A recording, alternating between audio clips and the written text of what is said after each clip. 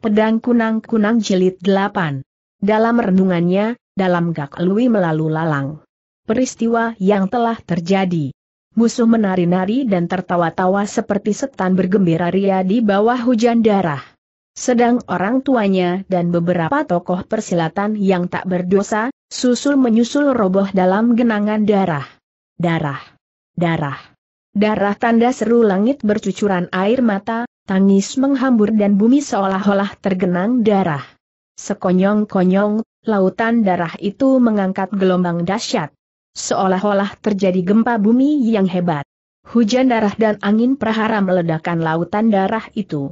Darah berhamburan menjadi gumpalan kabut dan awan, tulang dua kerangka pun bertebaran menghias hutan dan gunung. Di tengah tumpukan mayat itu, tertancap sebatang pedang yang berkilauan memancar sinar merah darah, itulah pedang kilat titik. Begitu melihat pedang pusaka itu, musuh pun segera hendak mengambilnya. Gak Lui hendak gunakan sapu jagat pukulan jarak jauh. Tetapi begitu ulurkan tangan, ia menggigil. Pedang yang disimpan kakek guru, apakah layak kuambil?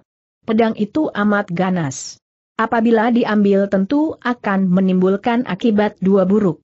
Karena ia tertegun, musuh pun dapat terus melanjutkan usahanya untuk mengambil pedang itu. Manusia ada yang baik dan jahat. Pedang tak ada yang disebut ganas atau baik. Ah, tunggu apa lagi? Gak Lui tersadar dan secepat kilat pedang itu pun sudah diraih ke dalam tangannya. Bum begitu pedang.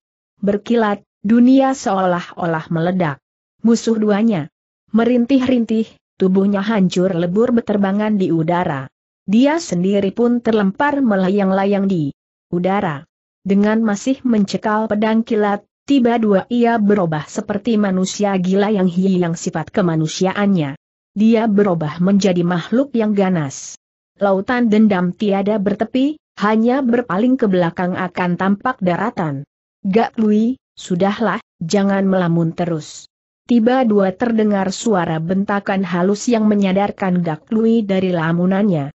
Mengangkat kepala, ia kucurkan keringat dingin ketika matanya tertumbuk akan tanda swastika pada kening permaisuri biru. Gak Lui, adik mulian itu cepat akan tersadar. Sebelum berpisah, apakah engkau hendak menyampaikan pesan apa dua Gak Lui menghela napas panjang dan menyahut dengan nada bersungguh. Dalam renungan tadi hampir saja aku tersesat ke arah Chohawe Ejipmo. Untunglah. Tak usah sungkan, engkau berwatak lurus. Kelak engkau tentu dapat membersihkan nama perguruanmu kata permaisuri biru. Kalau begitu, harap sampaikan pada adik kalian. Kudoakan dia lekas sembuh. Tentang Paman aku tentu berusaha sekuat tenaga untuk menolongnya. Baik. Oleh karena Ciampu tak menghendaki hanya ucapan terima kasih saja maka apabila Ciampu hendak menyuruh apa dua, silahkan bilang. Permaisuri merenung sejenak, sahutnya, Partai Tian Liong Pei kami, tiada punya murid tetapi aku mempunyai seorang anak yang bernama Ki Hut Kong. Yang kini mengembara dalam dunia persilatan. Sudah tentu dia tak mau sembarangan membunuh orang. Tetapi mengingat umurnya belum cukup 16 tahun, darahnya tentu masih panas. Maharaja dan gerombolannya memang mengandung maksud tak baik terhadap anakku itu. Terus terang saja, sebagai seorang ibu aku sungguh tak tega. Melihat wanita yang sakti itu bersikap sebagai seorang ibu yang penuh kasih sayang, kepada putranya, terharulah Gak Lui. Ia pun teringat akan ibunya yang entah mati entah hidup ibu yang sejak kecil belum pernah dilihat wajahnya. Asal aku mampu, tentu akan melakukan pesan Ciampu dengan sekuat tenagaku. Tetapi entah bagaimana roman muka putra Ciampu itu? Bagaimana aku dapat mengenalinya? Dia, wajahnya pun bertutup kerudung hitam. Tanda petik. Apakah takut dikenal orang dia takut diketahui musuh ciri dua lainnya? Dahinya pun terdapat tanda swastika seperti dahiku ini. Tetapi mungkin dia tak mau mengenakannya. Ah, tak apalah, sahut Gak Lui, aku tentu mempunyai akal untuk mengenalinya. Harap Ciampu jangan khawatir, dari balik kain kerudung mukanya, tampak mata permaisuri biru itu memancar rasa terima kasih. Tiba dua ia mengajukan lain soal, tanyanya, sebelum berpisah, aku hendak bertanya padamu tentang sebuah soal. Tadi ketika berhadapan dengan musuh, engkau terus berganti arah hendak menuju ke barat itu apakah karena dalam hatimu timbul kesangsian? Hektometer, Gak Lui, merenung lalu mengangguk. Memang agak aneh, permaisuri biru tak mau menjelaskan lebih lanjut melainkan berganti pertanyaan. Tadi engkau telah menyambut aku dengan kehormatan, tiga serangan pedang. Sekarang aku pun hendak mengembalikannya dengan tiga buah serangan juga Gak Lui terlongong. Berbeda sekali ucapan wanita itu yang tadi dengan sekarang, namun karena permaisuri biru hendak mengembalikan ketiga serangan pedang itu, Gak Lui pun tak dapat menolaklah tertawa nyaring lalu menjawab dengan penuh semangat. Sungguh beruntung sekali karena Ciampu hendak memberi pelajaran kepadaku. Oleh karena tadi Ciampu melayani dengan tangan kosong, sekarang aku pun tak berani menggunakan pedang. Seharusnya memang begitu kata permaisuri biru seraya mengambil pedang dari seorang topeng besi. Hati-hatilah serunya. Serentak pedang berhamburan seperti sinar pelangi yang menabur tubuh Gak Lui. Gak Lui memperhatikan gerak wanita itu, seraya menduga arah yang hendak ditujunya lalu menggunakan ilmu meringankan tubuh untuk berlincahan menghindar. Tetapi ternyata lawan jauh lebih lihai dari yang diduganya. Tampak pedang permaisuri biru itu seperti berkelebat ke timur tetapi tahu-tahu pun sudah siap menunggu di sebelah barat. Sekalipun gak lui gunakan gerak Raja Wali rentang sayap untuk melambung ke udara lalu bergeliatan menghindar dalam gerak awan mengalir ribuan li, tetapi tetap tak dapat lolos. Sinar berhamburan dan pada lain saat sinar pedang itu pun bersatu pula dan lenyap. Begitu meluncur ke tanah, dengan kemalu-maluan Gak Lui berkata, ah, apa yang kuunjukkan tadi hanya permainan yang jelek. Titik. Tak perlu terburu-buru. Ketiga jurus tadi hanya semacam pameran saja. Kita masih harus bertanding lagi. Tanda seru-seru permaisuri biru. Mengapa gak Lui terbeliak? Ketiga jurus yang engkau mainkan tadi, sudah ku ketahui semua. Dan sekarang engkau tentu tak tahu bagaimana aku hendak turun tangan. Maka lebih dulu ku perlihatkan permainanku itu. Setelah itu baru kita bertanding sungguh dua tergeraklah hati Gak Lui. Ia merenungkan ketiga jurus permainan pedang wanita itu. Tiba dua dilihatnya lawan mulai menyerang. Jurusnya sama dengan yang tadi tetapi jauh lebih cepat lagi. Gak Lui terpaksa melayani dengan hati-hati dan tumpahkan seluruh kepandaiannya. Hebat benar serangan tiga jurus pedang itu. Sinar pedang berhamburan dan bayangan orangnya pun lenyap. Kedua sosok tubuh, itu tak ubah seperti burung hang menari dan naga bercengkerama. Hanya beberapa saat mereka bertempur dan berpencaran pula. Gak Lui tegak berdiri dengan hikmat seraya berseru dengan rasa penuh terima kasih. Dengan menggunakan nama hendak mengembalikan ketiga pedang tadi Ciampu telah berkenan memberikan pelajaran ilmu pedang yang istimewa kepadaku. Entah apakah nama jurus ilmu pedang itu. Permaisuri biru lemparkan pedangnya. Pedang melayang tepat di sisi kepala si topeng besi. Sinar matanya yang berkilat-kilat tampak meredup tenang lagi lalu menjawablah ia akan pertanyaan Gak Lui. Partai Tian Liong Pei mempunyai ilmu yang disebut Ni Cho Go Heng Tai Huat atau lima unsur menyungsang arah. Tadi ku gunakan ilmu itu untuk memikat musuh. Tetapi kalau engkau hendak menuntut balas tentu harus membunuh orang. Maka aku tak mau mengajarkan ilmu itu kepadamu.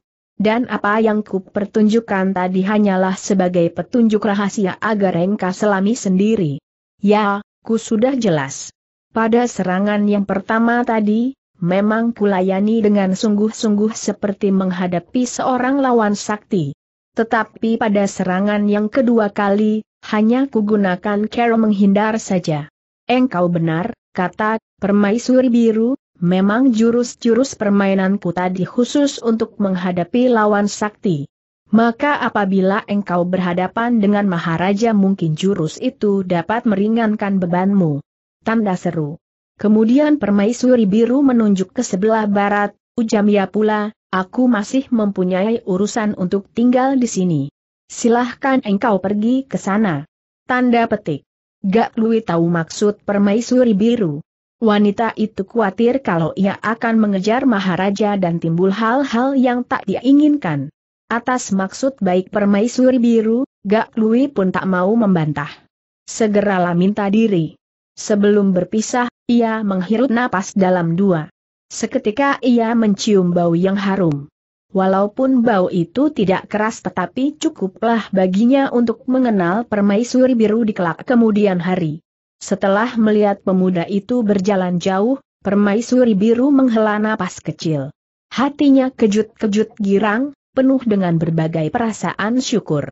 Setelah itu ia segera masuk lagi ke dalam hutan, lalu membawa Hang Lian yang masih tidur nyenyak. Pada saat ia hendak tinggalkan tempat itu, tiba-tiba hatinya tersentuh. Sejenak ia memandang ke arah mayat yang menggeletak di tanah. Merangkapkan kedua tangannya ke dada ia mengucap, Omi Tohut. Kemudianlah segera hendak mengubur mayat itu dan mengemasi pedangnya. Tiba-tiba pedang itu menimbulkan kecurigaan, pikirnya, ah, mukanya tak asing bagiku. Kiranya anak buah Butong Pei. Tetapi siapakah dia? Segera ia mengangkat topeng besi yang beratnya puluhan kati itu untuk dibuka dan dilihat siapa orangnya. Tetapi dalam kerudung kepala besi itu rupanya diberi alat pekekas dan karena sudah bertahun-tahun lamanya dan berkarat, permaisuri biru tak berani sembarangan membukanya dengan paksa. Tetapi karena sampai beberapa lama belum juga ia mampu membuka, akhirnya ia gunakan tenaga. Sekalipun begitu, hampir sepeminum teh barulah terdengar topeng itu berderak-derak. Begitu topeng terbuka maka menggelindinglah sebutir kepala orang. Orang itu rambutnya sudah putih semua. Celaka permaisuri biru terkejut dan berseru kaget. Aku kenal padanya. Dia adalah Cheng Chi Toti yang dari Butong Pei. Ah, mengapa ia mati begitu mengenaskan? Adakah dia termasuk salah seorang dari murid-murid kelima partai persilatan yang berkhianat itu? Tidak. Pasti tidak. Pribadi Cheng Chi Toti yang lurus dan bersih kalau lain orang mungkin tetapi kalau Cheng Chi tak mungkin menilik gelagatnya, tentu ada sesuatu rahasia yang terselip dalam peristiwa itu. Gak Lui tentu salah membunuh orang.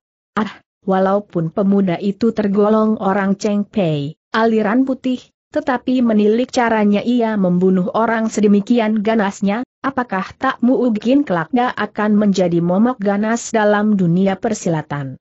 Merenung beberapa saat, permaisuri biru tak dapat menemukan jawabannya.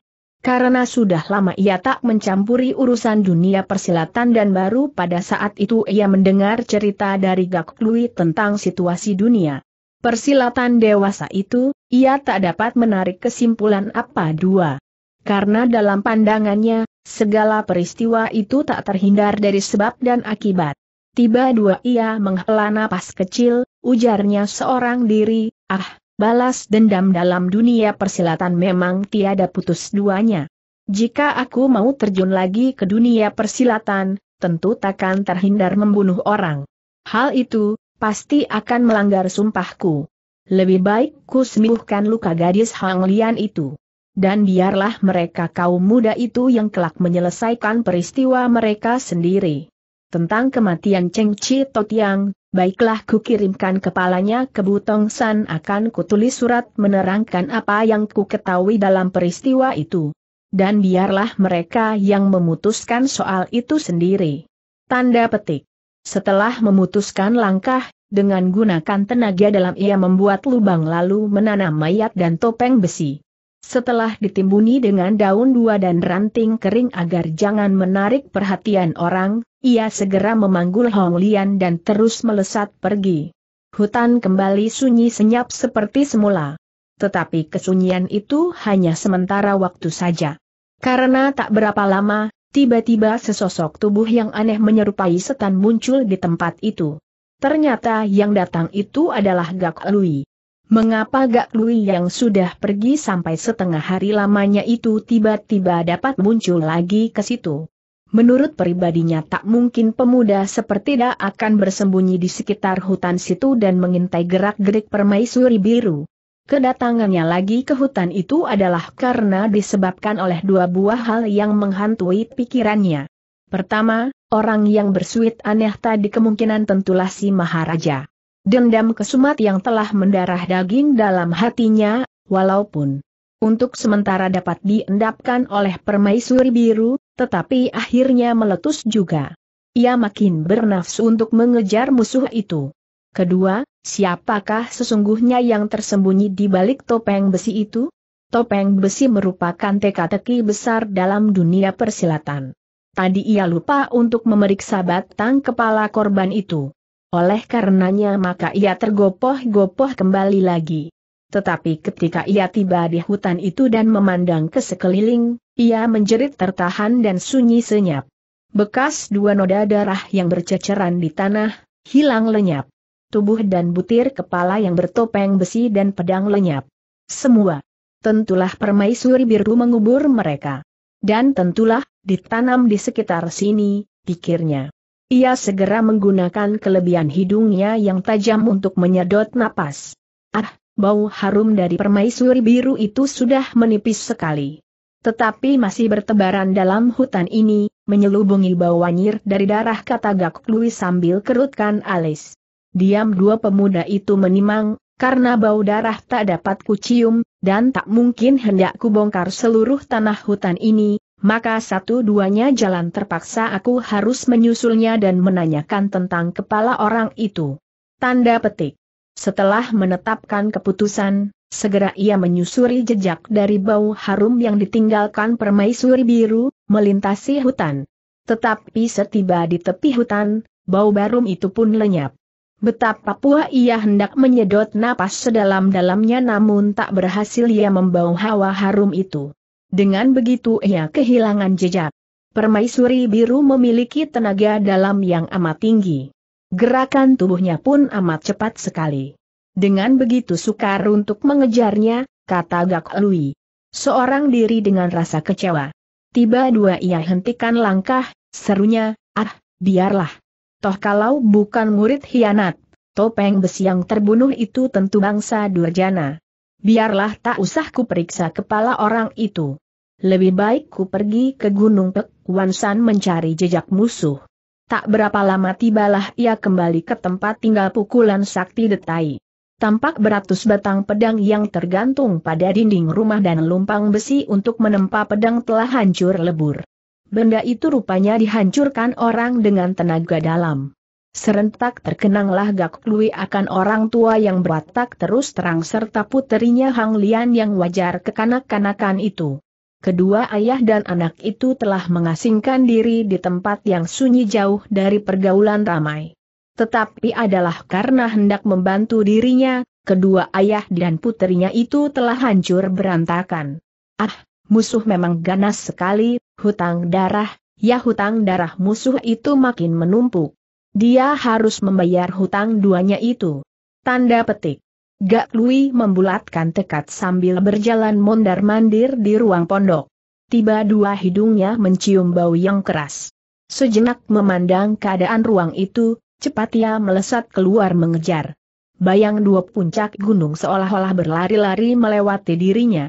Bintang dua diam dua telah bermunculan menghias cakrawala. Gak Lui lari secepat angin. Di bawah sinar bintang, dilihatnya sesosok tubuh menyerupai setan hutan tengah berlari kencang sekali. Dan tak henti-hentinya makhluk aneh itu mengeluarkan siulan yang aneh. Pemandangan itu menggetarkan hati Gak Luila menyedot napas dan membaui bermacam bebauan. Jelas bayang dua di sebelah. Muka itu terdiri dari beberapa orang. Maka ia segera percepat larinya dengan gunakan gerak lari awan berarak seribu li. Lebih kurang terpisah berpuluh tombak, tiba dua bayangan hitam itu berpaling dan terus menyelinap ke dalam gerombol hutan di sebelah kiri. Rupanya tanpa sadar Gak Lui terpengaruh dan menurutkan arah pandang bayangan hitam itu. Dan segera ia melihat dalam keremangan malam yang gelap, tampak sebuah biara kecil. Orang aneh itu pun rupanya hendak menuju ke biara itu. Gak Lui cepat menghampiri tempat itu. Karena hutan dan malam amat sunyi, ia segera dapat mendengar suara suitan pelahan. Arahnya dari suitan pelahan dari jarak beberapa li. Di bawah sinar bintang tampak sosok dua bayangan melintas hutan. Dalam sekejap, kedua sosok tubuh misterius saling bertemu. Keduanya menggerakkan tangan seperti sedang berunding. Karena jaraknya jauh, Gak Lui tak dapat mendengar jelas. Ah, bagaimana ini pikir Gak Lui yang hendak merencanakan untuk mendengar pembicaraan mereka. Saat itu ia belum jelas siapakah mereka, kawan atau lawan. Ia tak mau membuat kejut mereka. Sekonyong-konyong sosok hitam itu berulang kali menunjuk ke arah biara dalam hutan. Kemudian keduanya serempak menuju ke biara itu. Hektometer, mereka tentu hendak berunding dalam biara itu. Mengapa aku tak mau mendahului mereka Gak Lui mendapat pikiran lalu dengan hati dua sekali ia bergerak menyusup ke dalam biara. Ia bersembunyi di bawah meja sembahyangan. Tak berapa lama, kedua sosok tubuh tiba di muka pintu. Ternyata mereka mengenakan pakaian hitam dan berkerudung muka warna hitam juga. Dari lubang mata, tampak mati mereka berkilat-kilat memandang ke sekeliling. Rupanya hendak masuk. Tetapi tiba dua salah seorang mengangkat tangan kanan dan berkata memberi peringatan, jangan tergesa-gesa. Mungkin dalam yara terdapat orang. Kawannya mendengus dingin, ada orang pun tak jadi soal. Dengan kepandaian kita, masakan tak mampu menghadapi, orang tadi mendesis pelahan lain menyahut dengan serius. Soal ini adalah perintah dari Maharaya sendiri. Jelas sebuah rahasia. Apabila ada orang yang lundup dalam tempat ini dan mencuri dengar pembicaraan kita, pasti celaka ia menyurut mundur dua langkah lalu memberi isyarat tangan. Saudara yang memeriksa dalam biara, aku yang menyelidiki di luar, mendengar itu tergetarlah hati Gak Lui. Untunglah karena minum darah buaya purba, matanya bertambah tajam. Sekalipun malam tiada bulan dan hanya disinari bintang-bintang, tetapi ia masih dapat melihat jelas keadaan dalam biara itu. Saat itu orang aneh yang hendak menyelidiki keadaan di luar, pun segera melangkah keluar. Sedang kawannya yang diminta memeriksa dalam biara, juga segera masuk. Ia memandang segenap sudut dari biara itu. Dengan hati dua sekali Gak Lui mengisar tubuh dan menutup pernapasan.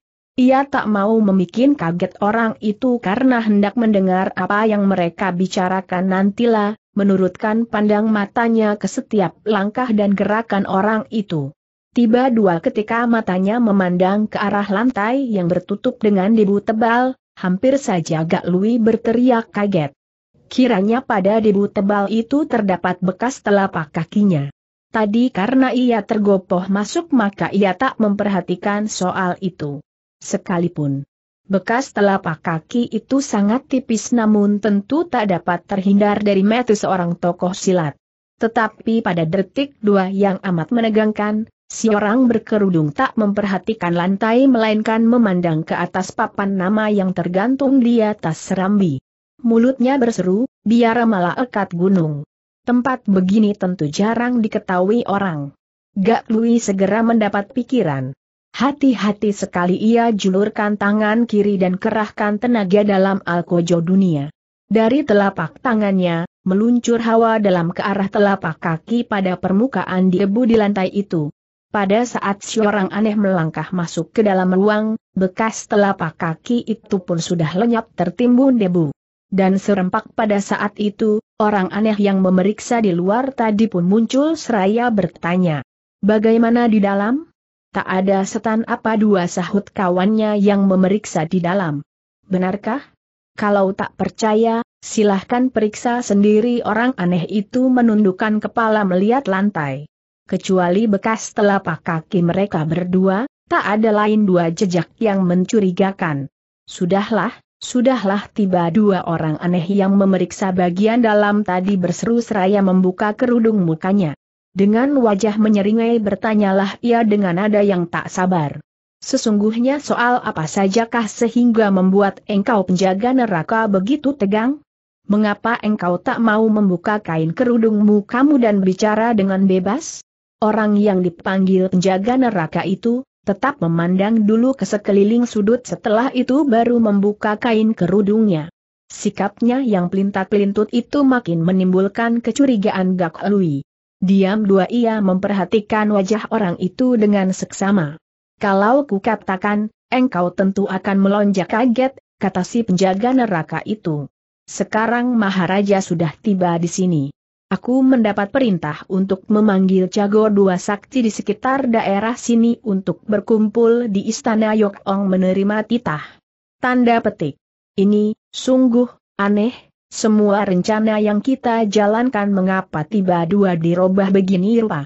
Kawannya terkejut. Sudahlah, jangan ribut dua ini itu. Sekarang hendak ku katakan apa tugasmu, agar jangan sampai terlantar seru penjaga neraka. Tugas apakah itu? Kali ini yang menghadap berjumlah besar. Tetapi karena orang dua itu sama mengenakan kerudung muka maka aku dan engkau ditugaskan untuk memeriksa bukti dua yang mereka bawa. Engkau yang memeriksa orang dua kepang dari lain dua. Aku yang memeriksa anak buah Maharaja.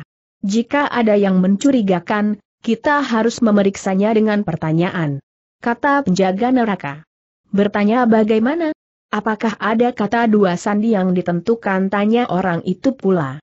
Temponya amat mendesak sehingga tak sempat menetapkan kata dua sandi. Maka aku dan engkaulah yang ditunjuk untuk mengajukan pertanyaan pada mereka. Boleh bertanya apa saja tentu kita segera tahu nada. Mereka mencurigakan atau tidak. Apakah kalau mereka itu terbukti salah lalu kita hukum mati? Tidak, jika mencurigakan, harap ditawan hidup dan biarkan Maharaja yang memeriksanya sendiri. Sungguh mengherankan. Adakah Maharaja curiga kalau ada tokoh dua sakti yang menyelundup dalam pertemuan itu? Entahlah, aku kurang terang, namun orang yang berwajah menyeringai itu gelengkan kepala tak percaya. Ah, mengapa engkau tetap main sembunyi kepadaku? Engkau sudah belasan tahun ikut pada Maharaja. Soal itu mungkin dapat mengelabungi engkau tetapi masakan dapat mengingusi aku si Jo bin Sucia? Penjaga neraka tertegun sejenak lalu berkata pula. Menurut dugaanku, penjagaan itu ditujukan terhadap seorang jago muda sakti. Jago muda sakti. Siapakah namanya tanya Jo bin Sucia atau utusan berwajah buruk? Gak Lui mendengar itu tergetarlah hati Gak Lui. Sedang si wajah buruk malah tertawa mengekeh dan berseru, kukira tokoh sakti yang bagaimana, kiranya hanya anak yang masih belum hilang ingusnya itu. Marilah kita lekas dua menuju ke istana Yok Ong. Budak itu datang pun baik, tidak datang pun lebih baik. Tanda petik. Sudahlah, jangan menepuk dada dulu. Kita sudah mendapat tugas, lebih pagi datang ke sana lebih baik. Apalagi jika benar-benar sampai bertempur, budak itu sudah banyak merubuhkan jago dua sakti. Hektometer, aku tak percaya kata si wajah buruk. Diam-diam Gak Lui terkejut, pikirnya, huh, mengapa sudah? Dua kali ini Maharaja hendak mencari aku? Apakah yang hendak ditanyakan kepadaku? Menilik gelagat, orang itu tentu mempunyai hubungan dengan partai perguruanku. Mungkin hendak menanyakan tentang empat pedang busan, mungkin. Tanda petik. Baru ia merenung sampai di sini tiba-tiba si wajah buruk kedengaran bertanya pula, Saudara LM, ada sebuah hal yang kurasa aneh. Maukah engkau menerangkan? Tanda petik. Kalau bisa, tentu akan kuterangkan. Maharaja yang begitu sakti mengapa harus memakai kain kerudung muka? Kurasa banyaklah di antara orang dua itu yang ingin sekali melihat wajah asli dari Maharaja. Dan lagi, kelima topeng besi dari lima partai persilatan itu, mengapa? Hektometer, engkau lagi dua begitu. Tak usah bertanya, nanti pada suatu hari engkau tentu akan jelas sendiri. Jadi engkau sebenarnya sudah tahu tetapi tak mau bilang. Aku masih ingin hidup beberapa waktu lagi bolehkah aku menduganya? Tanda petik. Lebih baik jangan mengapa. Tanda petik. Menduga salah sama artinya dengan tak menduga kalau dapat menduga tepat. Berarti hari kematianmu sudah tiba. Si wajah buruk tertegun. Beberapa saat kemudian ia berkata seorang diri, kurasa Maharaja itu, tentu memiliki wajah yang tak boleh dilihat orang. Mungkin karena cacat hidung atau telinganya sehingga wajahnya lebih buruk dari aku. Baru berkata begitu tiba-tiba penjaga neraka itu tergetar tubuhnya, dan cepat membentak bengis, tutup mulutmu. jika engkau masih ngaco belotak keruan, jangan sesalkan aku tak kenal persahabatan dan melaporkan engkau pada Maharaja. Ancaman penjaga neraka itu ternyata mempunyai daya kekuatan yang besar. Si wajah buruk seperti terbungkam.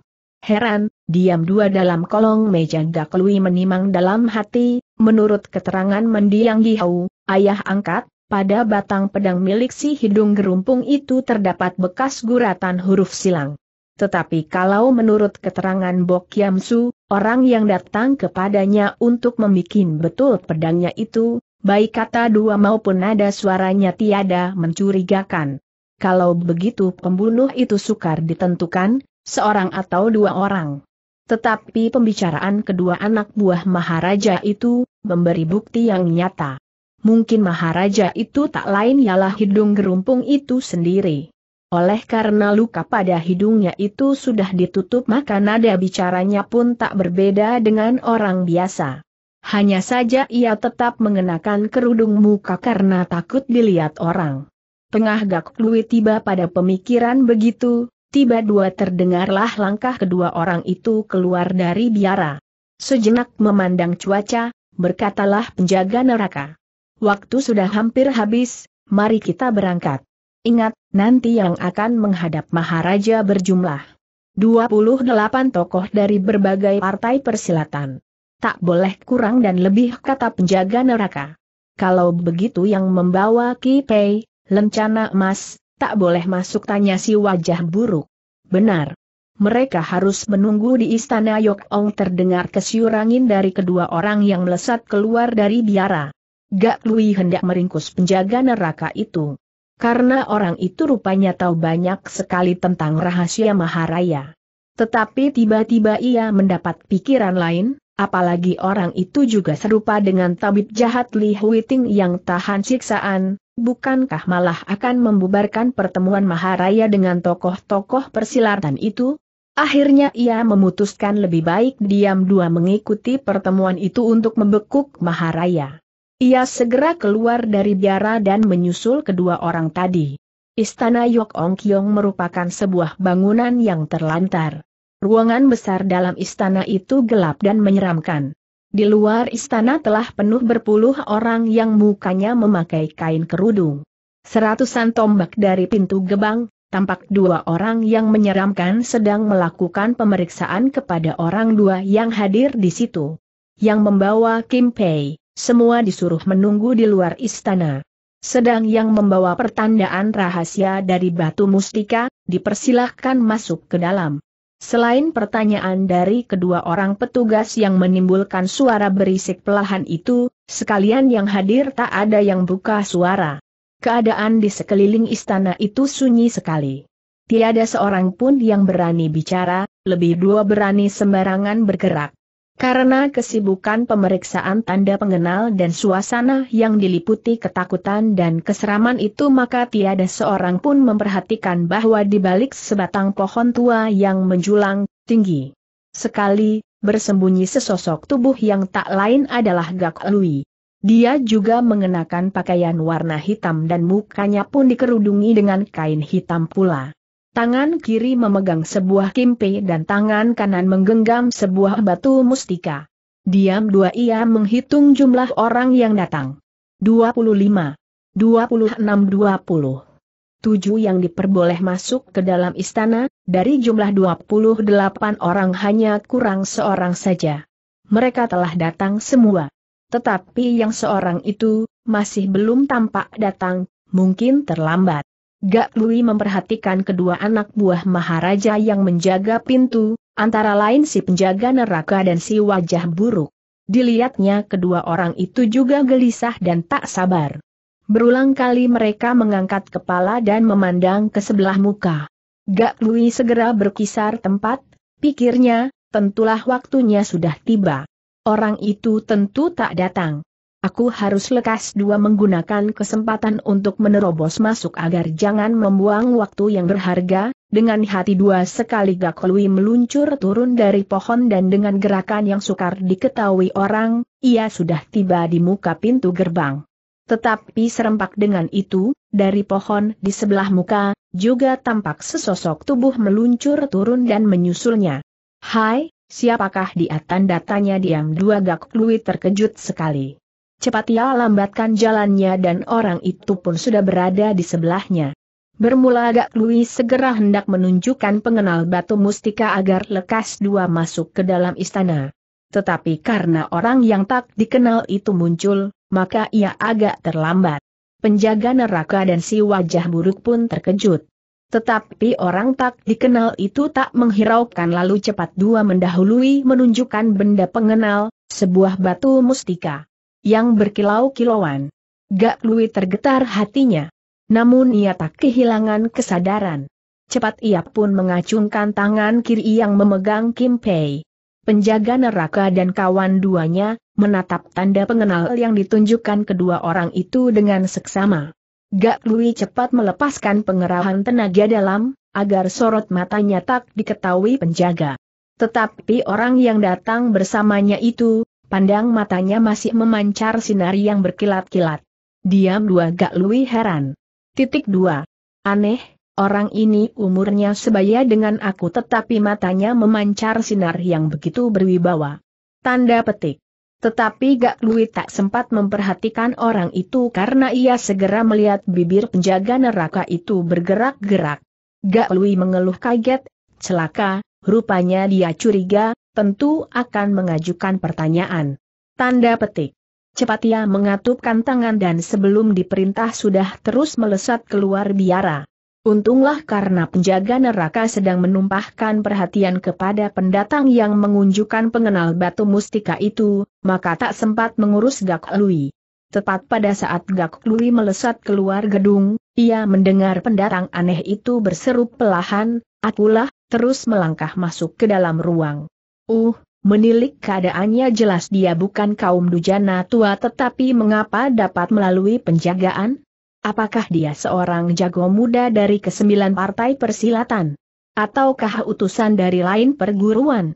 Tetapi tak peduli siapa dia, yang jelas dia telah mengganggu sehingga aku tak dapat masuk ke dalam gedung. Terpaksa Gak Lui gunakan telinganya yang tajam untuk berusaha mendengarkan apa yang berlangsung dalam gedung. Dalam usaha itu ia menyelinap mendekati jendela.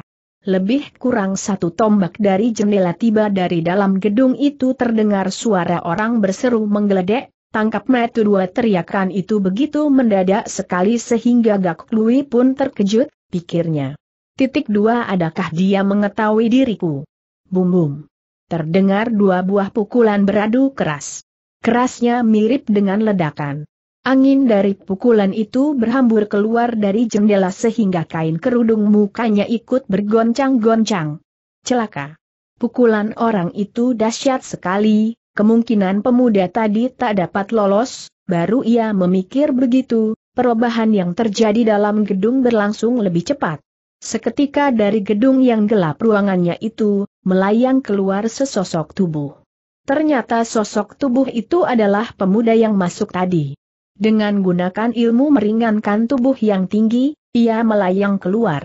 Di belakangnya diikuti oleh tiga orang berkerudung muka yang menyerangnya dengan pukulan dan pedang. Cepat Gak Lui dapat memastikan bahwa orang yang berteriak menggeledek tadi tentu si Maharaja. Dan dia tentu tak ikut mengejar melainkan masih berada dalam gedung. Gak Lui tak sempat memikirkan untuk membantu pemuda itu lagi, ia harus menggunakan kesempatan sebaik itu untuk menyerang Maharaja. Selain itu ternyata pemuda itu pun cerdas dan tangkas sekali. Walaupun ia tahu bahwa di sekeliling penjuru terdapat musuh tetapi ia tak gentar sedikit pun juga.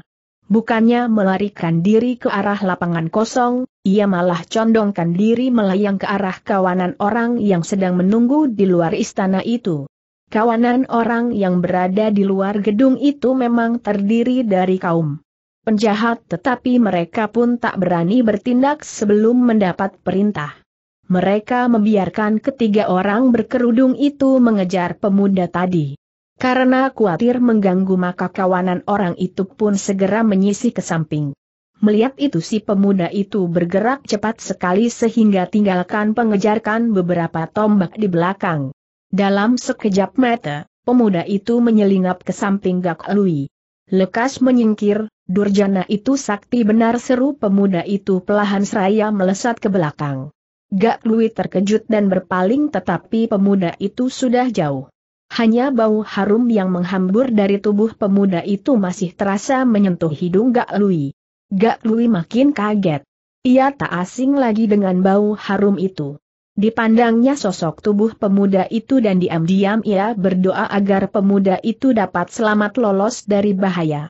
Tetapi rombongan anak buah Maharaja yang berkumpul dalam istana itu, banyak sekali jumlahnya. Sekelompok tokoh-tokoh yang berjumlah belasan orang segera memburu keluar dari belakang gedung sehingga pemuda itu terkepung dari muka dan belakang. Dan tiba-tiba pula, pintu gerbang istana itu terbuka sendiri.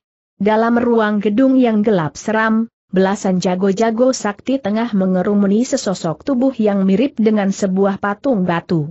Walaupun orang itu mukanya tertutup kain kerudung tetapi dari sikapnya yang congkak dapatlah diduga ia tentu seorang tokoh yang berpengaruh dan ganas sekali. Heh, heh, heh, orang aneh itu tertawa mengekeh.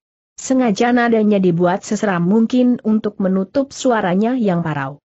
Tergetar tegang hati Gak Lui mendengar tertawa aneh itu.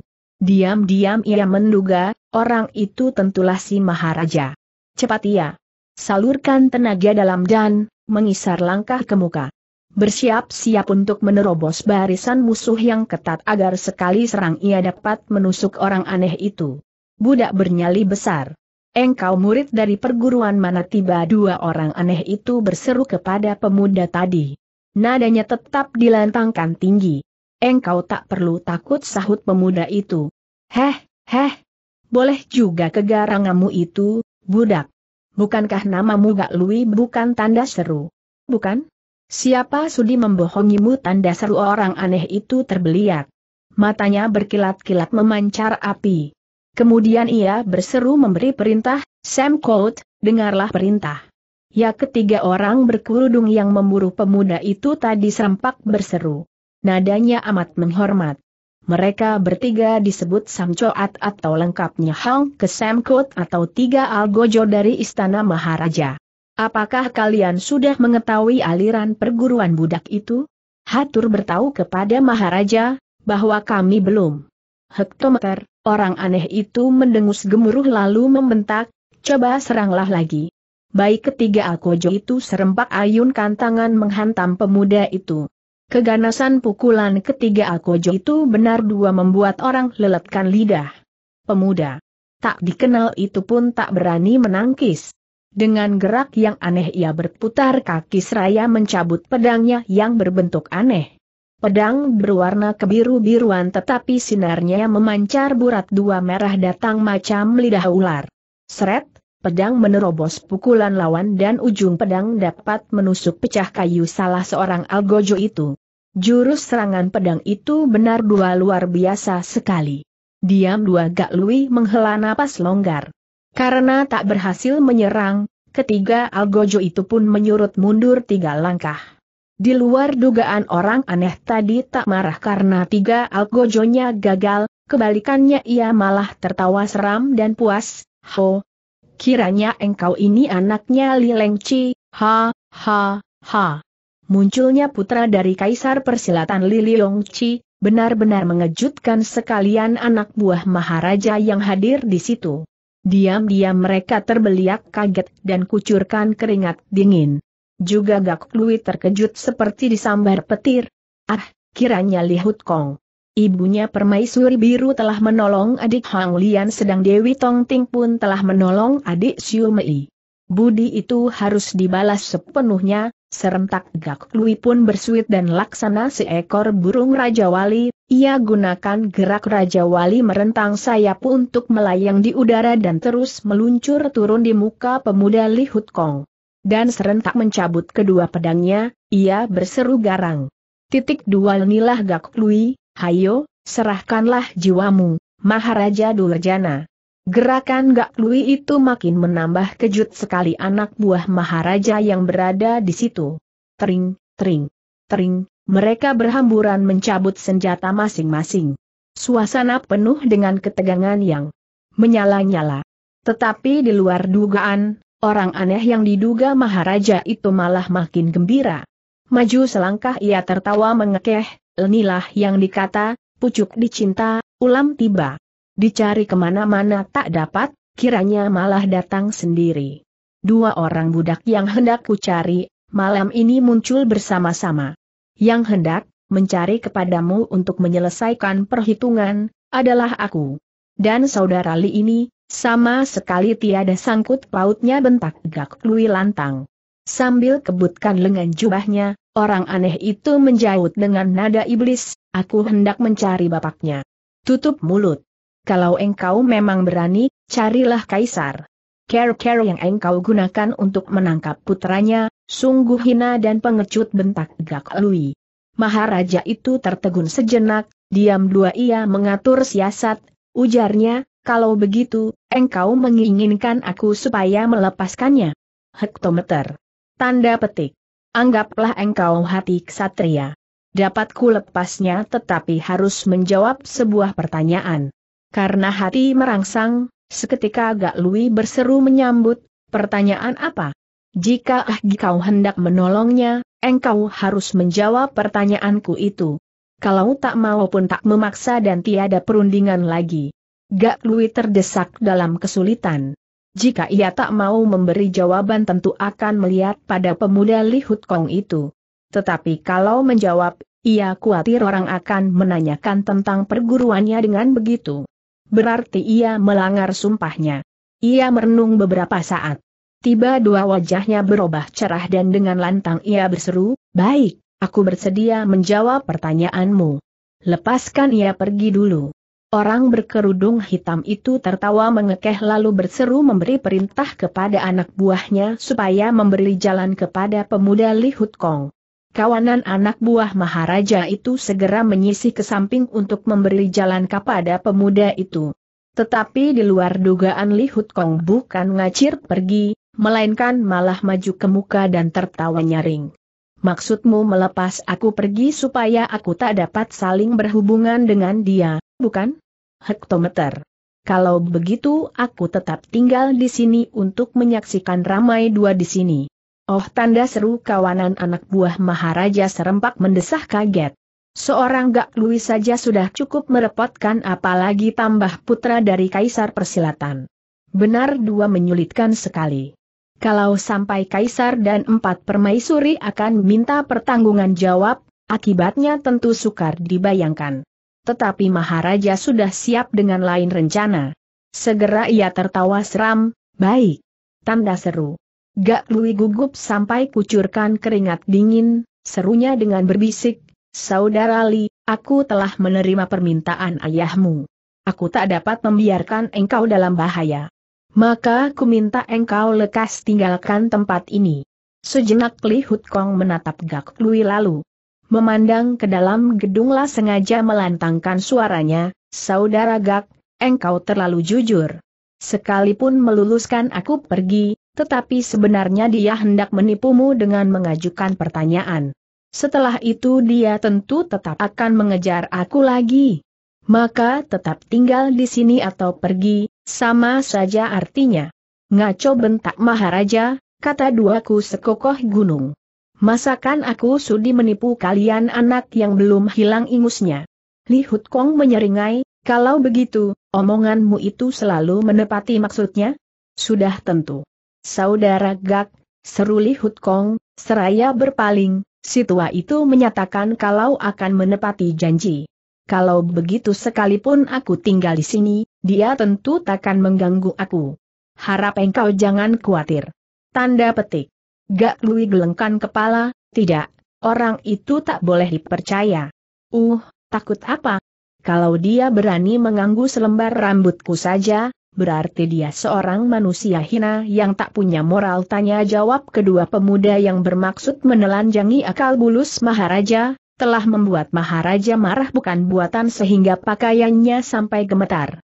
Tutup mulut, dengarkan aku hendak mengumumkan, bahwa kali ini aku takkan mengganggu padamu budak liar. Hayo, Gak Lui, lekas engkau bersiap menjawab pertanyaanku. Baik, silahkan bertanya. Aku pasti akan berjawab. Sahut Gak Lui. Maharaja itu menundukkan kepala. Setelah jerpikir. Beberapa jenak ia mulai bertanya, di manakah sekarang? Gurumu pertanyaan itu tak pernah diduga Gak Lui. Seketika Gak Lui tertegun.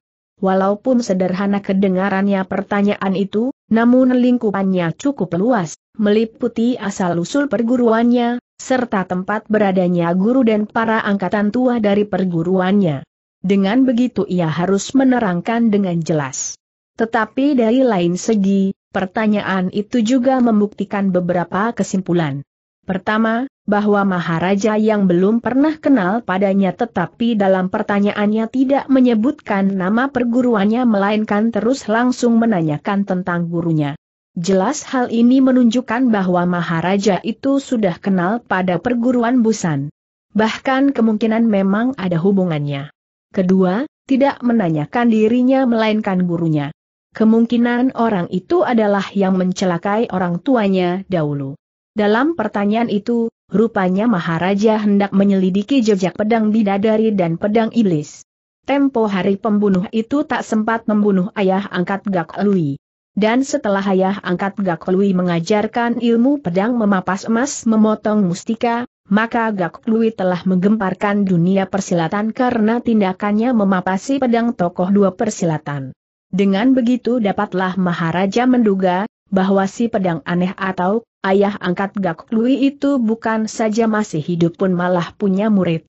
Kemungkinan Maharaja masih ingin mencari tahu anggota empat pedang busan yang masih hidup.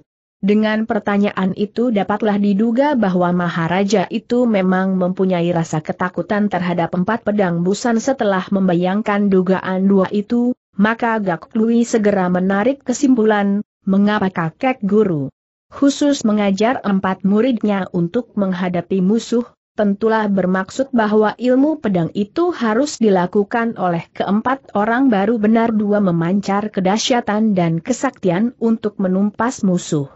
Andai kata aku dapat mewakili ayah, tak mungkin Maharaja itu begitu ketakutan, apakah-apakah. Ayahku masih hidup dan menyembunyikan diri di gunung yang sepi? Rupanya Maharaja tak sabar menunggu jawaban Gak Lui yang tak kunjung datang itu, engkau sudah dapat menjawab atau belum? Gak Lui terbeliak dan cepat menjawab, jangan terburu-buru. Aku sedang berpikir. Dipandangnya orang aneh itu dengan tajam, pikirnya. Huh, siapakah engkau ini sesungguhnya? Apakah engkau ini murid pertama dari kakek guru yang diusir dari perguruan itu?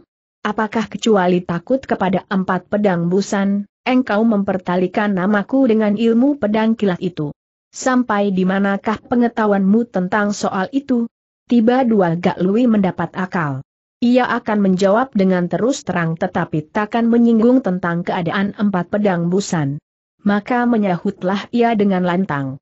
Hektometer, dengarkanlah, aku hendak menjawab. Bagus. Bagus rumah raja lalu mulai bertanya. Katakanlah mulai dari suhumu aku tak punya guru. Hah? Kuulangi lagi, aku tak punya guru. Engkau, engkau hendak menyangkal? Tutup mulutmu teriak Gak Lui, aku tak pernah bohong sekalipun kepada orang semacam engkau, aku pun tak mau bohong. Karena marahnya, Maharaja sampai gemetar. Seketika timbul pikiran hendak turun tangan menghajar anak itu. Tetapi pada lain saat, hatinya tenang lagi. Tak mungkin. Lalu dari mana engkau belajar ilmu? Silat kalau tak punya guru katanya. Melihat sikap orang begitu tegang, gak lui geli dalam hati. Maka menyahutlah ia dengan dingin, sekalipun aku belajar silat pada beberapa paman, tetapi tiada seorang pun yang kuangkat menjadi guru. Kata dua itu memang benar, baik ayah angkatnya si pedang iblis maupun bibi gurunya pedang bidadari, telah memberinya pelajaran silat. Tetapi mereka bukanlah gurunya yang resmi. Dengan setengah kurang percaya, Maharaja menegas lalu ayah bundamu. Itu soal lain lagi. Aku tak perlu menjawabnya. Kata Gak Lui. Mengapa?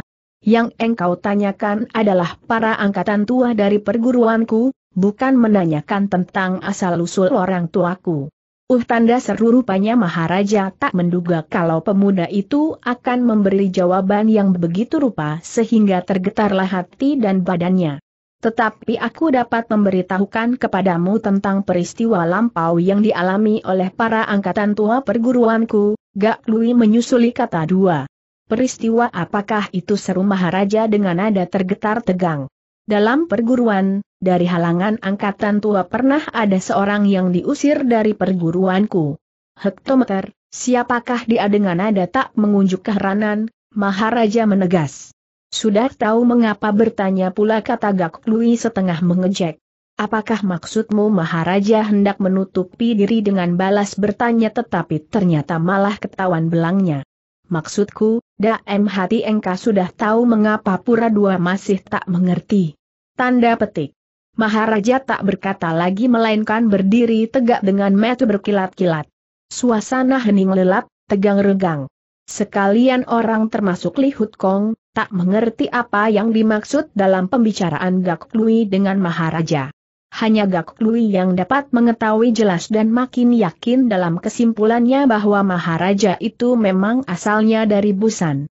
Sekarang tinggal menyelidiki adakah Maharaja itu benar murid Busan yang diusir dari perguruan itu? Jika benar, orang itu adalah paman gurunya yang tertua sendiri. Adakah hidungnya cacat? Atau apakah ia mempunyai hubungan dengan si hidung gerumpung itu? Belum ia sampai melaksanakan rencana penyelidikannya, tiba dua orang itu tertawa ringan, soal dua sekecil itu, kiranya tak perlu kujawab. Adakah engkau tak ingin menanyakan tentang angkatan tua dari perguruan kutukas Gak Lui?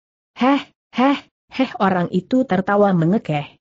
Tetapi beberapa kali engkau telah merusakkan urusanku yang penting. Dosamu tak berampun lagi. Kecuali engkau dapat menerangkan alasannya yang kuat, barulah dapat ku pertimbangkan lagi. Kalau tidak, istana Yok Ong itu bakal menjadi tempat kuburmu. Diam dua Gak Lui geli dalam hati karena melihat sikap Maharaja itu. Ia memutuskan untuk memberitahukan tentang keputusannya hendak menuntut balas kepada Maharaja itu agar dia kaget. Hidupmu penuh berlumuran darah. Dosamu menumpuk setinggi gunung. Setiap orang persilatan yang menjunjung kebenaran dan keadilan, tentu berhak membasmimu. Dan ketahuilah, bahwa aku memang mengemban tugas dari sebuah perguruan untuk membasmi seorang muridnya yang murtad seru Gak Lui. Heh, heh, heh orang itu mengekeh. Bukankah engkau tadi mengatakan tak pernah berguru pada seseorang? Atas hak apa engkau berani mencampuri urusan perguruan orang? Sungguh mengecewakan sekali kalau engkau berkata begitu. Tindakanku itu adalah melaksanakan pesan dari angkatan tua perguruanku. Mendengar itu meluaplah hawa pembunuhan di wajah Maharaja.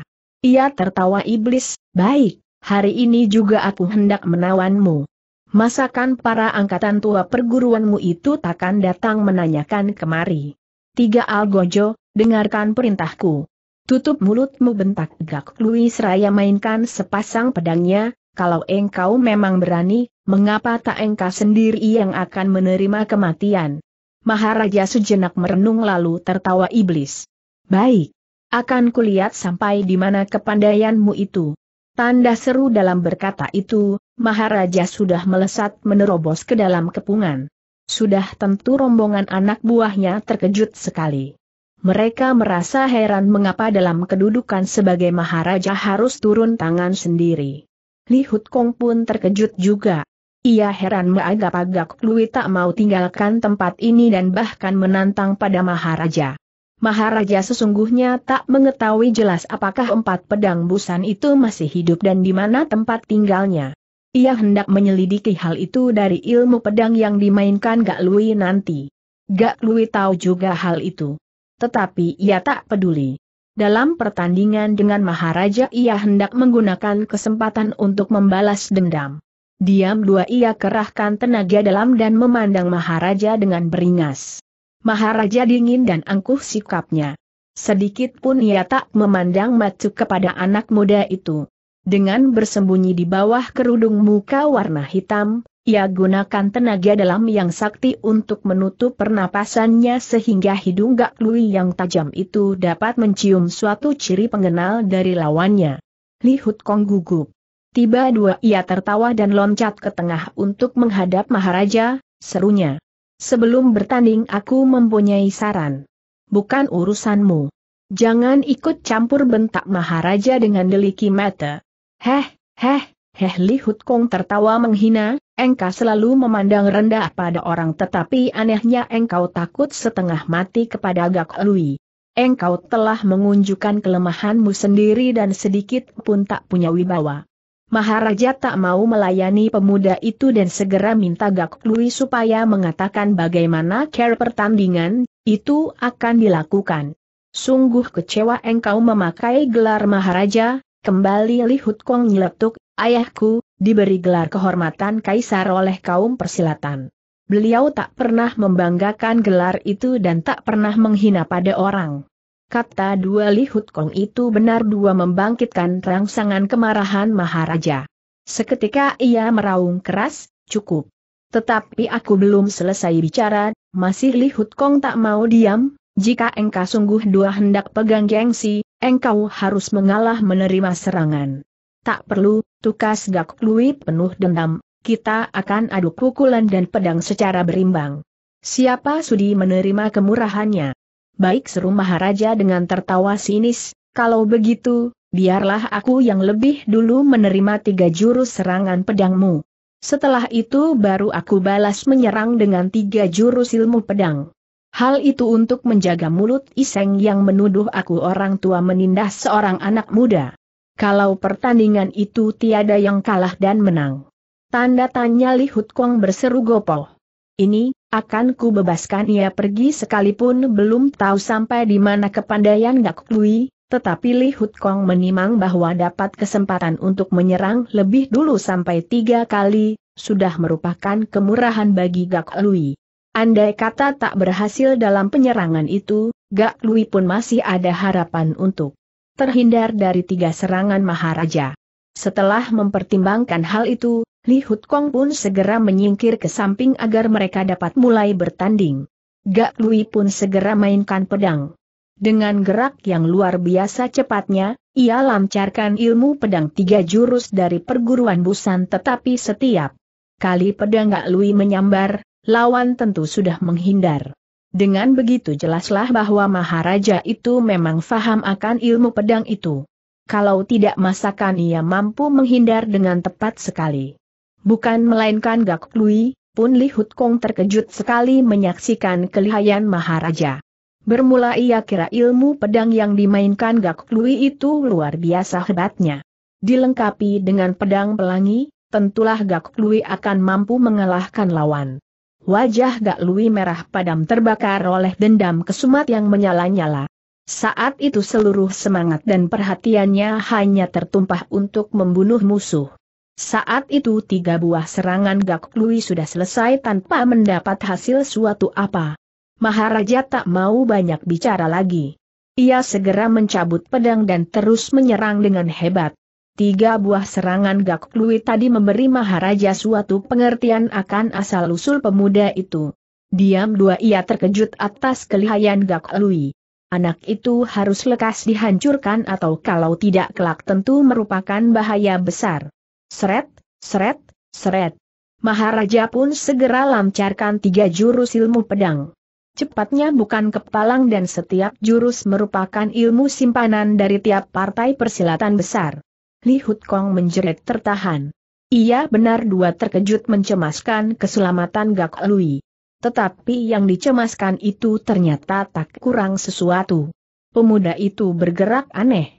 Walaupun gerakannya lamban tetapi ternyata suatu ilmu gerak tubuh yang mengagumkan sekali. Dalam beberapa kejap, ketiga serangan pedang Maharaja pun sudah selesai. Ternyata Gak Lui masih segar bugari kurang suatu apa. Bagus Li Hut Kong berteriak memuji. Tetapi baru ia mengucap pujan, Gak Lui yang sudah tak dapat menguasai diri, tiba dua bergerak menusuk muka lawan. Ia hendak mengetahui siapakah sesungguhnya muka di balik kerudung hitam itu.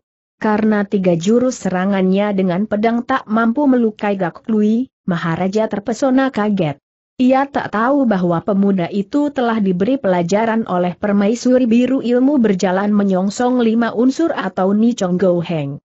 Oleh karena sudah tak boleh membalas serangan Gak Lui, maka Maharaja pun mencari akal untuk menyelesaikan pemuda itu.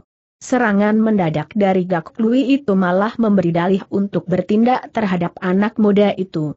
Sungguh suatu keuntungan yang tak pernah diharapkan.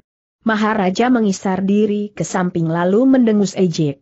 Engkau sendiri yang cari mati, serentak ia hantamkan tangan kirinya ke arah Gak Lui. Pukulan yang dilambari tenaga sakti itu hebatnya bukan olah-olah. Sambil masih memutar pedang, Gak Lui mengisar ke samping lalu gunakan pukulan Alkojo dunia untuk menyedot tenaga pukulan lawan. Tetapi tenaga dalam Maharaja itu luar biasa kuatnya. Bum terdengar letupan. Dada Gak Lui termakan. Pukulan itu. Tubuhnya bagai layang dua putus tali, melayang sampai dua tombak jauhnya. Matthew Lui berkunang-kunang penglihatannya. Kepalanya berputar-putar seperti menghambur ribuan bintang. Untunglah ia dapat menggunakan pedang untuk menahan diri dari kerubuhan. Ah, aku terlalu emosi dan melanggar pesan Gihu. Seharusnya aku mencari ilmu pedang dari ayahku dulu. Jurus ilmu pedang itu, kemungkinan baru dapat membunuhnya, jika tenagaku masih belum memadai, aku harus mengeluarkan pedang kilat. Walaupun pedang itu benda ganas tetapi terhadap musuh, memang perlu digunakan, dalam kekalahan Gak Lui menimang-nimang. Tetapi setelah mendapat hasil, Maharaja tak mau memberi ampun lagi. Segera ia menyambar dengan ilmu Kin Najin dari partai Xiao Lim Si. Gak Lui hendak ditawan hidup. Tetapi seketika itu Li Hut Kong membabat pergelangan tangan Maharaja. Betapa tinggi kesaktian Maharaja, namun ia kenal juga akan pedang pusaka milik Kaisar Persilatan. Hatinya tergetas dan cepat dua ia menarik pulang pedang. Omonganmu berlaku atau tidak tanda seru bentak Li Hut Kong. Aku tak pernah mungkir janji, tetapi dia sendiri yang cari gara dua sahut Maharaja. Cari gara dua? Bukankah engkau sudah setuju untuk melepaskannya apabila pertandingan itu tiada yang kalah dan menang? Setelah tiga jurus, tak seharusnya dia menyerang aku lagi. Dan engkau pun tak boleh memukul lagi sahut Li Hut Kong tak kalah tangkasnya. Apakah engkau menghendaki supaya aku diam saja menerima tusukannya? Tanda petik. Ha, ha, ha, ha. Engkau menertawakan apa? teriak Maharaja. Ku tertawakan sikapmu yang masih kekanak. Kanakan itu. Apa maksudmu? Bukankah engkau menganggap kepandaian Gak Lui itu setingkat dengan engkau? Budak hina itu masakan mampu menandingi aku teriak Maharaja. Benar seru Li Hut Kong, dengan mengandalkan ketuaanmu engkau hendak membanggakan diri sebagai Maharaja persilatan. Tetapi apabila bertempur engkau berkau-kau minta untung. Menurut penilaianku, hektometer tanda seru. Jelas engkau mengerahkan anak buahmu untuk menyerang tetapi engkau masih berlagak garang. Heh, heh, heh, heh Maharaja mengekeh marah, panjang lebar engkau bicara itu tak lain minta supaya ku lepaskan dia bukan? Itu pun kalau engkau masih menghormati janjimu baik, kali ini aku hendak memberi kelonggaran. Tetapi, tetapi apa? Apakah masih hendak engkau berikuti dengan perjanjian lain lagi? Tidak, bukan perjanjian melainkan suatu keterangan sahut Maharaja. Katakanlah, akan ku lepas kalian pergi dan takkan ku perintah anak buahku untuk merintangi. Aku pun takkan menyerang lagi. Tetapi kalau kalian tak mampu pergi dari sini, janganlah menyalahkan aku. Diam dua Lihut Kong merasa heran, pikirnya, tidak suruh orang merintangi dan tidak menyerang. Dengan kepandaian kami berdua, masakan tak dapat tinggalkan tempat ini. Tentulah dia mempunyai rencana lain lagi. Harus dijaga kemungkinan itu. Tepat pada saat itu Gak Lui pun sudah selesai melakukan pernapasan dan berjalan menghampiri. Melihat itu Li Hut Kong cepat mengambil keputusan. Ia menyurut mundur seraya diam dua ulurkan jari menutup jalan darah Gak Lui, terus dirangkul pinggangnya. Sudahlah, mari kita pergi. Lihatlah saja mereka hendak gunakan siasat apa lagi. Karena ditutup jalan darahnya, Gak Lui tak dapat berkutik. Ia hanya dapat memandang orang dua yang hadir di situ dengan penuh dendam amarah. Tiba dua Li Hut Kong berseru, naiklah tubuh Gak Lui diangkatnya dan dibawa melambung sampai tiga tumbak ke udara, lalu meluncur keluar dari gedung Yok Ong Kyong. Tetapi tiba dua terdengar suitan aneh, makin lama makin melengking tinggi. Nadanya macam burung kukuk beluk merintih-rintih atau setan menangis pilu. Li Hut Kong yang saat itu tengah melayang di udara. Segera ia merasakan tubuhnya menggigil dingin sehingga terpaksa meluncur turun. Untunglah dalam saat genting itu ia mendapat pikiran.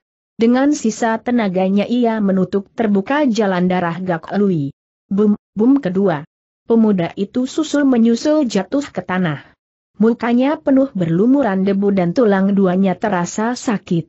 Bagi Gak Lui Suitan itu sudah tak asing lagi. Teringatlah ia bagaimana kawanan anak buah Maharaja seperti Cheng Chi, Tian Wat, Wei Chun dan gerombolan topeng besi itu tak pernah menggunakan kata dua untuk bicara. Segala perintah tentu menggunakan suitan bahwa ternyata dari mulut Maharaja pun mengeluarkan suitan semacam itu, Gak Lui benar dua terkejut sekali. Cepat ia hendak kerahkan tenaga dalam, tetapi, ah, sedikit pun ia tak dapat menggerakkan tenaga itu. Ia mironta dua bergeliatan hendak merangkak bangun, tetapi, ah, benar dua ia tak punya tenaga untuk bangun. Dengan paksakan diri Gak Lui memungut kembali sepasang pedangnya tadi. Setelah itu ia memandang ke arah Li Hut Kong dan berkata dengan terputus dua, maaf.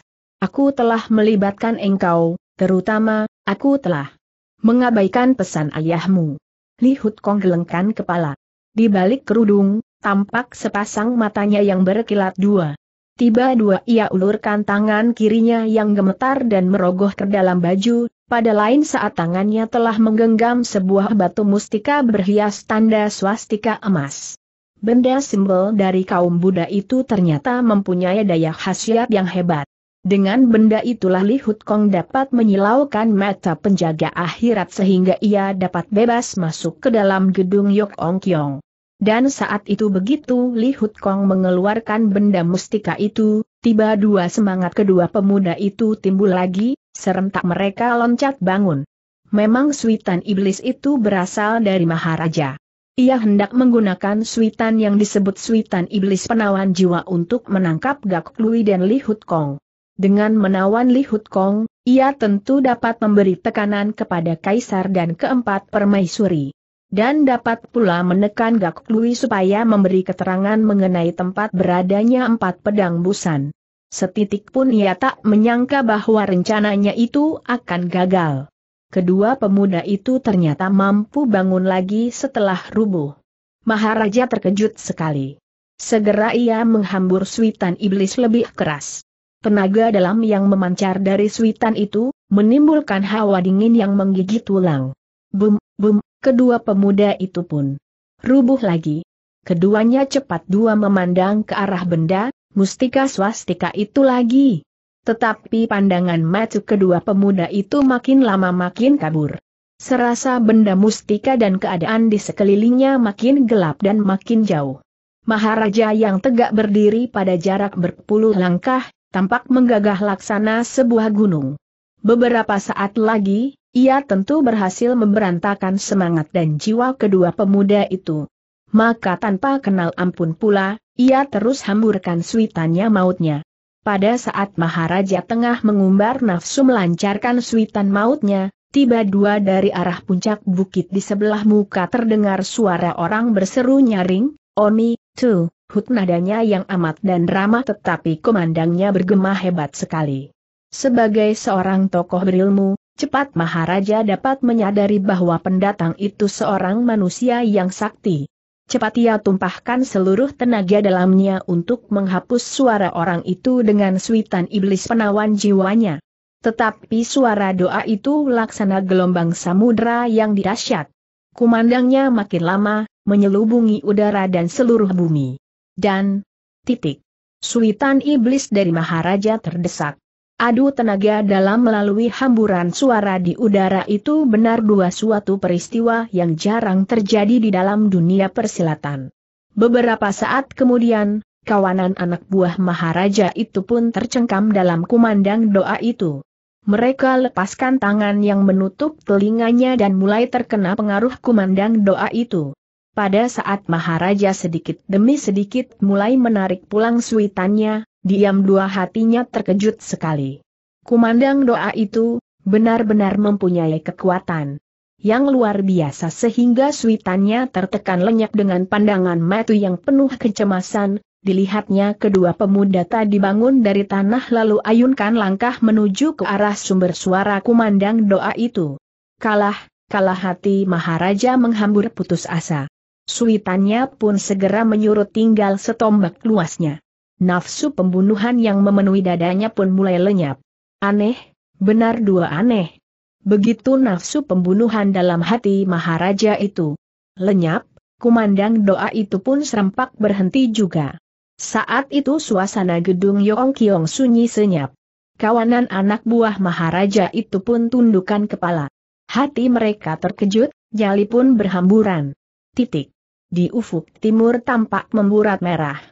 Fajar mulai menyingsing. Dan pada lain saat, bayangan kedua pemuda itu pun lenyap. Siapakah dia? Apakah Kaisar Li Liongci? Tiba dua Maharaja bertanya dalam hati kalau benar dia, ah, tak mungkin aku dapat menjagoi dunia. Benak Maharaja penuh dilingkari rasa kecemasan dan kebingungan. Kemunculan orang dengan kumandang puji doa keganasan itu, benar dua membuyarkan impiannya. Tiba dua ia teringat pada diri Gak Lui. Serentak ia teringat akan pedang kilat. Pedang kilat. Pedang ganas yang tiada tandingan. Kecuali dengan ilmu sakti Liok Tu Sintong, tak mungkin dapat melawan. Kalau orang yang mengucap doa Omitohut itu benar dua faham akan ilmu sakti Liok Tu Sintong, tak mungkin, ia mau mengampuni jiwaku. Benar, dia tentu tak menguasai ilmu sakti itu. Jika demikian, apabila aku dapat memperoleh pedang kilat, tentulah orang itu dapat kubasmi. Dan akan terkabulah keinginanku menjagoi dunia persilatan.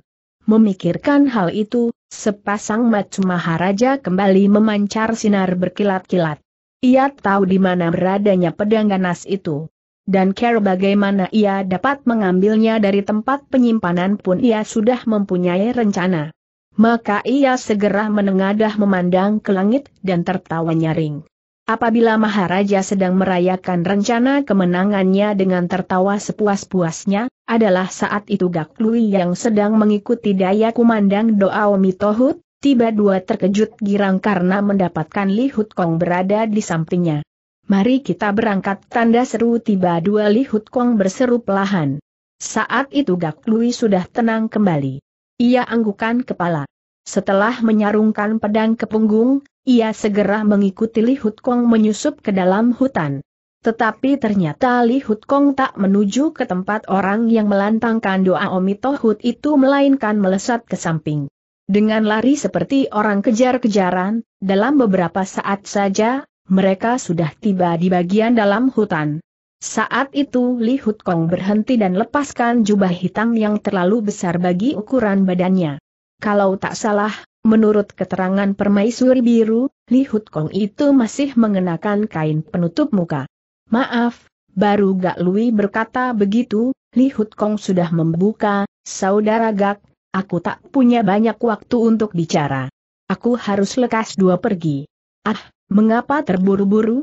Ayahku sudah tiba. Jika tahu aku berani gegabah. Menyelidiki Maharaja, beliau tentu marah. Oh, Orang yang melantang doa Omitohut untuk menindas tindakan Maharaja itu, ayahmu Kaisar Persilatan sendiri? Tak mungkin salah. Kalau begitu apabila aku berjumpa beliau, takkan ku ceritakan tentang dirimu. Li Kong tertawa riang, mungkin engkau ketemu tetapi tak mungkin engkau mengenalnya. Apakah ayahmu juga menyaru? Ini, aku tak dapat mengatakan, kata Li Hut Kong. Kemudian setelah sejenak bersangsi, ia melanjutkan bicaranya dan berkata pula, tetapi aku bermaksud hendak angkat saudara dengan engkau. Bagaimana pendapatmu? Gak Lui tertawa nyaring, bagus sekali, hanya aku telah mengabaikan perintah ayahmu. Suruh aku membantumu, kebalikannya malah menyangkut dirimu dalam kesulitan. Ah, jangan berkata begitu. Apabila saudara gak tak muncul, aku tentu kalah melawan tiga Alkojo itu. Hal itu kalau diketahui ayah, beliau tentu marah kedua pemuda itu saling tertawa. Setelah itu mereka segera melakukan upacara mengangkat saudara. Habis itu Li Hut Kong berbangkit memberi hormat. Engkau Lui aku harus pergi sekarang. Di sekeliling tempat ini banyak jago dua sakti. Silahkan engkau berjalan ke muka saja. Tanda petik. Pemuda itu terus loncat beberapa tombak jauhnya. Gak Lui tak sempat mengucapkan pesan, kecuali menanyakan siapakah yang dimaksud dengan jago sakti itu. Titik. Tian Lok Tot yang, seru Li Kong yang sudah masuk ke dalam hutan. Gak Lui terkejut. Apabila benar Tian Lok Tot yang berada di sekitar tempat situ, jika sampai bertemu tentu akan timbul salah faham. Diam dua ia kerahkan hawa murni dan lalu gerakkan urat dua tubuhnya tetapi ia merasa bagian belakang kepalanya masih agak sakit. Ah, Suitan Maharaja itu benar dua hebat sekali. Nyatanya masih meninggalkan bekas sakit di kepalaku. Aku harus melakukan pernapasan dengan sungguh dua. Tanda petik. Gak Lui memutuskan untuk mencari tempat guna beristirahat. Tiba dua ketika memandang ke hutan di sebelah muka, ia terkejut dan mundur selangkah. Dua sosok tubuh melesat keluar dari hutan itu. Yang seorang adalah Tian Lok Tot Yang, ketua partai Cheng Siapei. Dan yang satu seorang paderi tua berjubah kelabu, entah siapa. Karena menyadari tenaganya belum pulih, Gak Lui tak ingin bentrok dengan mereka, tetapi pun tak leluasa untuk melarikan diri. Pada saat itu Tian Lok Tot Yang dan paderi tua itu pun sudah melesat ke muka disusul oleh munculnya 18 orang paderi yang segera mengepung Gak Lui. Kemunculan 18 paderi itu menyadarkan pikiran Gak Lui. Partai Xiao Lim Si memiliki barisan Cape Lohontin yang termasyhur. Padri tua itu jelas tentulah Hui Hang Taisu, ketua partai Xiao Lim Si. Gak Lui menghela napas. Buru dua ia memberi hormat. Tetapi belum sempat berkata apa dua, Tian Lok Tot yang pun segera mendengus marah dan berseru, ketika di Gunung Pek San, engkau beruntung mampu lolos. Tetapi bagaimanapun akhirnya engkau takkan terlepas dari jaring kematian. Tanda petik. Harap Tot yang suka bersabar. Tanda petik. Tak ada yang perlu dibicarakan lagi. Sekarang Hui Hang Taisu telah memimpin 18 anak murid Xiao Lim Si. Jangan harap engkau mampu lolos lagi seru Tian Lok Totiang. Gak Lui menatap ketua Cheng Siape tajam dua lalu berpaling menghadap Hui Hang Taisu, Taisu kali ini turun gunung sendiri tentulah disebabkan peristiwa murid Xiao Lim sisi pedang api itu. Saat ini aku belum dapat memberi penjelasan. Harap dimaafkan. Hui Hang Taisu kerutkan alis, ujarnya, soal itu soal kedua. Lalu apakah Taisu mencurigai diriku? Bukan karena aku menduga sembarangan.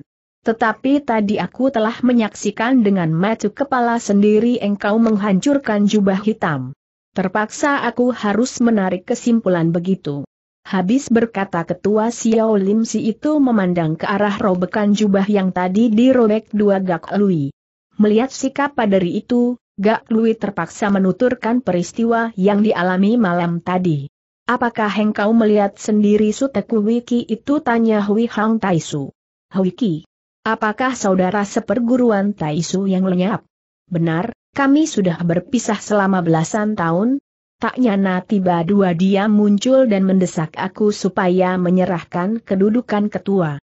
Tiba dua Gak Lui teringat sesuatu, serunya, apakah Taisu telah memeriksa tulisannya? Memang benar dua tulisannya, tetapi Mengapa? Aku tak percaya kalau dia berkhianat. Gak Lui merenung sejenak, lalu berkata, kali ini yang hadir dalam pertemuan dengan Maharaja, semua mengenakan kain kerudung muka sehingga tak dapat dikenal mukanya. Tetapi memang dari kalangan partai Xiao Lim si terdapat seorang anggotanya. Dan Tian Watot yang dari Cheng Siapei memang benar dua hadir dalam pertemuan itu, mendengar itu Tian Watot yang cepat nyeletuk, Taisu, betapapun halnya, keterangan Gak Lui itu tak dapat dipercaya. Maksudmu tanya Hui Hang Taisu. Dia sendiri adalah anak buah Maharaja sahut Tian Watot yang. Aku tak memaksa engkau harus percaya teriak Gak Lui dengan gemetar karena marah, tetapi gedung Yong Kiong itu dekat dari sini. Apabila sampai diketahui oleh anak buah Maharaja, mungkin, kita akan terjaring semua. Heh, heh, heh. Jangan menggertak orang, jangan engkau pura dua menjadi orang baik. Omonganmu tadi tentu bohong semua. Sikap kedua ketua partai itu masing dua berbeda. Oleh karena sudah mempunyai prasangka jelek maka Tian Lok Toti yang tak mau mengerti semua alasan yang dikatakan Gak Lui tadi. Sedang Hui Hang Tai Su masih meragu. Oleh karena mencemaskan kedatangan orang dua maharaja sehingga urusan akan menjadi lebih runyam maka berkatalah Gak Lui dengan nada bersungguh kepada ketua Xiao Lim Si. Taisu, harap jangan mendengarkan ucapannya. Jika Taisu menyangsikan diriku, silahkan bertanya. Kepada Huat Hang Taisu. Dia tentu dapat memberi kesaksian bahwa aku bukan golongan hitam. Pula mengingat Taisu dengan Huat Hang Taisu itu sesama kaum agama, kiranya Taisu pasti percaya penuh kepada keterangannya. Tian Lok Tot yang mengekeh. Karena marahnya ia sampai pucat lalu berkata kepada Hui Hang Taisu. Cobalah dengarkan. Bukankah dia hendak mengadu domba sesama murid agama? Jelas kalau dia bermaksud jahat. Tanda petik. Jawab Hui Hang Taisu, bukan tak percaya pada Totiang. Tetapi omongannya itu memang beralasan juga. Beralasan teriak Tian Lok Totiang, apakah engkau benar dua hendak bertanya ke Heng San? Sudah tentu. Kemarahan Tian Lok Totiang makin meluap. Dengan deliki mata ia segera mencabut pedang dan berseru. Kundang engkau bersama dua menangkapnya. Siapa tahu setelah mendengar sepatah dua patah kata duanya, Taisu terus berubah pendiriannya. Baiklah. Hubungan antara partai Cheng Siape dengan Xiao Lim sehari ini juga kuputuskan. Aku tak percaya kalau tak mampu menangkapnya sendiri. Ucapan dari ketua Cheng Siape itu memang serius sekali. Karena hal itu menyangkut hubungan kedua partai yang sudah berjalan ratusan tahun lamanya, Hui Hang Tai pun tidak tak berani menganggap remeh. Tubuhnya berputar dan sambil mencekal pedang ia berdiri di samping Tian Lok To Tiang. Gak Lui tak mudah cepat dua terangsang. Ia menghela napas dingin lalu memberi penjelasan kepada Tian Lok To Tiang lagi. Mengapa To Tiang masih mencurigai diriku? Ti dan Wi. Tun kedua Lo Chiam dari partai Kong Tong Pei, pernah bertemu aku di gedung Lengko Antian. Keduanya adalah imam yang bermartabat tinggi. Mereka pun dapat memberi kesaksian tentang diriku. Heh, heh, heh, sambil mengekeh, tanpa menunggu sampai Gak Lui habis bicara, Tian Lok Toti yang tertawa mengejeknya. Gak Lui tertegun heran. Ho, engkau masih berani menyinggung nama partai Kong Tong Pei. Ketua Kong Tong Pewi Ihtoti yang sudah turun gunung bersama ketiga saudara seperguruannya dan 49 murid dua Kong Tong Pai angkatan kedua. Aneh Gak Lui tertegun. Pikirnya, mengenai jumlah orangnya, dia salah mengatakan.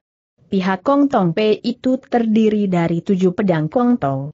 Dikurangi dengan Wi ketua Kong Tong Pei dan seorang marit yang berkhianat yakni Wi Chun, maka seharusnya ketujuh tokoh pedang Kong Tong Pei itu masih berjumlah lima orang. Mengapa dia mengatakan hanya tiga orang? Maka bertanyalah Gak Lui dengan berani, Witi Toti yang pernah meluluskan aku hendak menghadap dan memberitahukan keadaan diriku kepada ketua Kong Tong Pei. Agar Kong Tong Pei waspada menjaga muridnya yang berkhianat. Mengapa, ketua partai itu malah memimpin rombongan jago dua Kong Tong Pei turun gunung? Tanda petik. Apakah Witi Toti yang berdua itu? Apakah engkau tak tahu tidak? Tanda petik. Mereka di tengah jalan telah dibunuh oleh anak buah. Maharaja. Ah, Gak Lui mengeluh kaget sehingga tubuhnya gemetar, apakah engkau mencurigai aku? Aku bukan manusia yang mudah mencurigai orang dengan semena-menanya. Sekarang ada saksi yang boleh dipercaya El. Siapa? Apakah dari golongan Cheng Pei? Dia adalah Tang Hong Giok ketua partai Kunlun Pei. Coba katakan, apakah dia tak cukup digolongkan sebagai orang Cheng Pei? Ah, untuk kedua kalinya Gak Lui mendesu kaget, silahkan menerangkan yang jelas. Hektometer, Tian Lok Tot yang mendengus. Ia anggap Gak Lui itu sudah tahu tetapi masih pura dua bertanya. Diam dua ia kerahkan tenaga murni, siap dilancarkan. Mendengar peristiwa itu, marahlah ketua Xiao Lim Si. Serentak ia maju selangkah dan berkata dengan dingin. Wititot yang berdua telah dicegat dan dibunuh oleh segerombolan penyerang yang berkerudung muka. Pada saat Tang Hong Jiok tiba, keadaan Wititot yang sudah payah sekali. Ketika ditanya siapa pembunuhnya, Wititot yang mengatakan kalau engkau Tak mungkin teriak Gak Lui. Itu suatu kenyataan yang berbicara. Aku hendak bertanya kepada Tang Hong Chiampu tentang peristiwa yang dijumpai saat itu seru Gak Lui. Hektometer, baiklah. Mari engkau ikut kami untuk dipadu bertiga agar dapat diketahui engkau bersalah atau tidak. Aku sendiri dapat menanyakan tak perlu harus bersama Taisu. Apakah engkau tak takut pada barisan pedang Lohantin Xiao Lim Si? Tanda petik. Maaf, ini bukan soal takut atau tidak. Keduanya makin lama makin berdebat seru. Melihat itu Tian Lok Tot yang nyeletuk dingin, Taisu, dia tentu sedia pembantu yang lihai di belakangnya, silahkan Taisu menyisih ke samping tanda seru ia cepat menutup kata dengan sebuah serangan yang luar biasa ganasnya.